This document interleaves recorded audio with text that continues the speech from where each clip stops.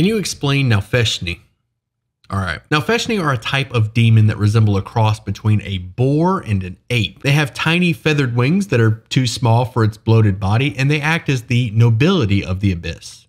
Yes, seriously. They sit on thrones judging mortal souls that enter the abyss, and they consider themselves above the blood war. They are also the most intelligent type of demon, more so than a Balor, but they still recognize that Balor are significantly more powerful than they are. But that doesn't stop them from trying to embarrass or undermine a Balor's plans when they're in service to one. And the Nalfeshnee organize all creatures into three separate groups. Fit to serve, which are the few creatures that Nalfeshnee feel are worthy of their servitude. Fit to use, which are the creatures that Nalfeshnee feel can be put to work, like other demons or elementals. And fit to eat, which is pretty much every humanoid. They especially love halflings. Everything loves to eat halflings. I gotta try one. Now follow the channel, and I'll see you at sundown.